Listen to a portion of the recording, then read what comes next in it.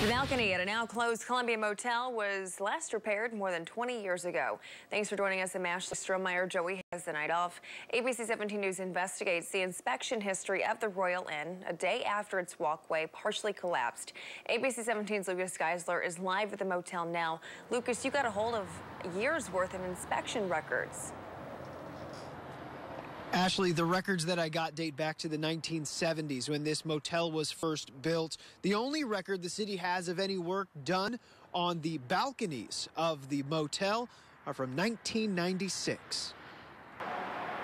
Inspection records at the Royal Inn we got show that the only record the city has of any work on the motel's balcony was more than 20 years ago.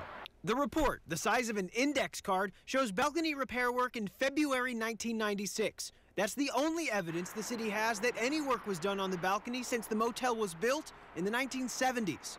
Columbia has no law requiring routine inspections of elevated walkways. City officials say problems are usually found after complaints. That's what got city investigators out to the Royal Inn on Monday when an anonymous tipster told them about the degrading concrete.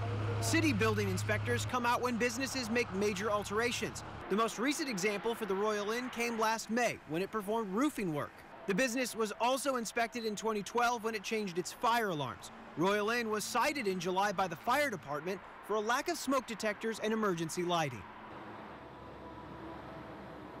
And the fire department tells us they're working closely with the owners of the business, Wahegu LLC, on what comes next with the walkway.